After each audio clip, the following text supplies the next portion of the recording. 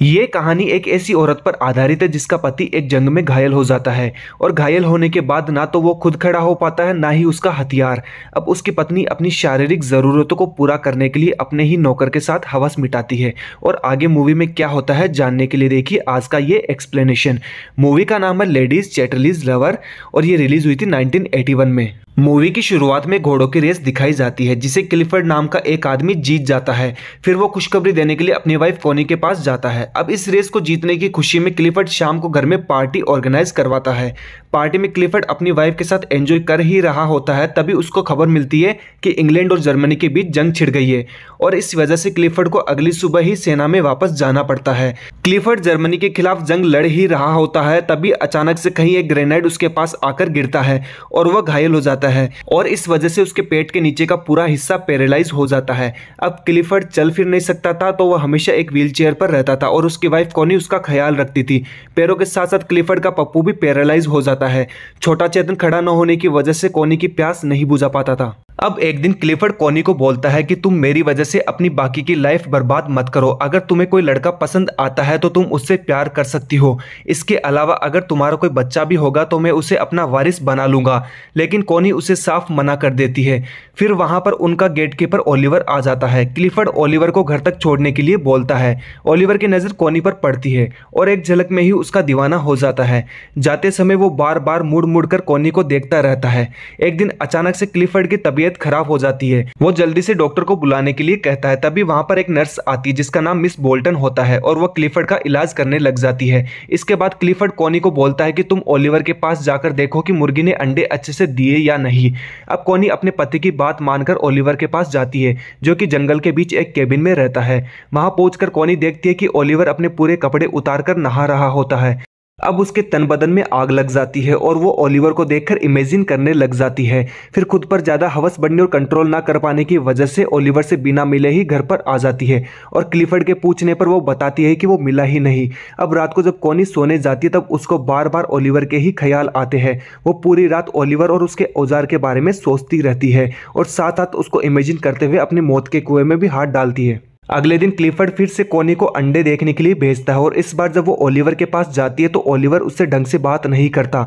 Oliver कोनी की हरकतों से समझ गया था कि कोनी चरम सुख की प्राप्ति चाहती है, पर ओलिवर उसकी खुदाई नहीं करना चाहता था क्योंकि इससे उसकी नौकरी चली जाती। कोनी भी उसके बिहेवियर से गुस्सा हो जाती और वहाँ से चली जाती है। अगले दिन कोनी और ओलिवर वापस मिलते हैं, तब ओलिवर उसे एक चाबी देता है और बोलता है कि तुम अब कभी भी आकर अंडे देख सकती हो।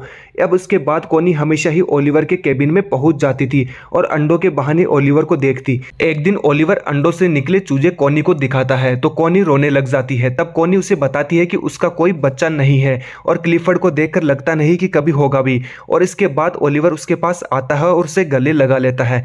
अब दोनों धीरे धीरे गर्म होने लगते हैं। और फिर इंटीमेट होने लग जाते हैं, लेकिन थोड़ी देर बाद कोनी को गिल्टी फील होता है तो वो वहाँ से भाग जाती है और भाग कर वापस घर आ जाती है।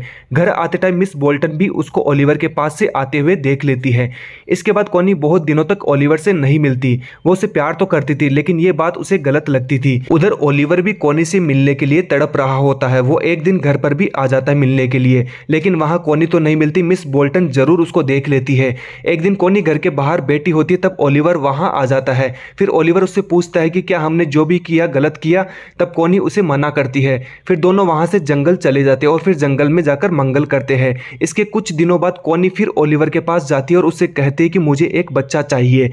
ओलिवर फिर उसे क्लिफर्ड के बारे में पूछता है, तब कोनी बताती है कि इस बारे में क्लिफर्ड से बात करी है और वो मेरे बच्चे को वारिस भी बना देगा। फिर ओलिवर कोनी से पूछता है कि क्या हम दोनों के बारे में क्लिफर्ड को पता है? तब कोनी बोलती है कि नहीं। लेकिन फिर वो यह भी बोलती कि वो उसके बिना नहीं रह सकती। फिर ओलिवर बच्चे के लिए मान जाता है और कोनी को बोलता है कि इसके लिए तुम्हें एक रात मेरे साथ रुकना पड़ेगा। इसके बाद जब कोनी घर जाती है तो मिस बोल्टन को कोनी के बालों से एक तिनका मिलता है और वो समझ जाती है कि ये फिर से ओलिवर के साथ मुँह काला करवा के आ रही है। इन सब के बावजूद भी वो ओलिवर से मिलती रहती है और वो उसको आज रात रुकने का भी बोल देती है। वो उसे ये भी बोलती है कि मैं तुम्हारी पत्नी बनने को तैयार हूँ, लेकिन क्लिफर्ड को नहीं छोड़ सकती क्योंकि उसको मेरी ज़रूरत है। ओलिवर फिर उसे बोलता है कि अगर क्लिफर्ड को हमारे बारे में पता चलेगा तो वो तुम्हें छोड़ देगा, क्योंकि कोई भी पति नहीं चाहेगा कि उसका वारिस एक नौकर का बेटा हो। फिर कोनी घर आ जाती है। घर आके वो देखती है कि क्लिफर्ड घर के बाहर ही बेटा है। फिर कोनी बाहर बैठने का कारण पूछती है। तो क्लिफर्ड उसको बोलता है कि मैं सनसेट देख रहा हूँ। यहाँ पर क्लिफर्ड ऐसे प्रिटेंड कर रहा था कि उसे कुछ पता नहीं है। अगली रात कोनी क्लिफर्ड के सोने के बाद ओलिवर के पास जाती है, जहाँ पे वो दोनों इंटीमेट होते हैं।